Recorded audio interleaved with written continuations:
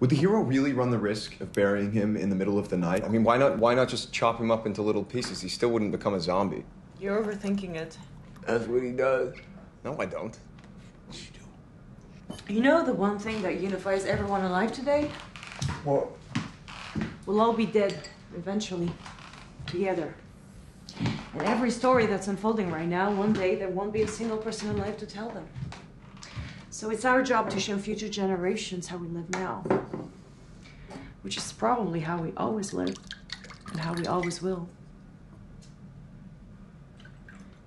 That's deep shit. We'll have it done by tomorrow. We could be writing it for another 10 years. I mean, how, how do we even know when it's done? You hear ringing. in your ear. Whenever you finish something big, you hear this ringing in your ear. It's called the white noise. The white noise? Well, most people will never hear it in a lifetime.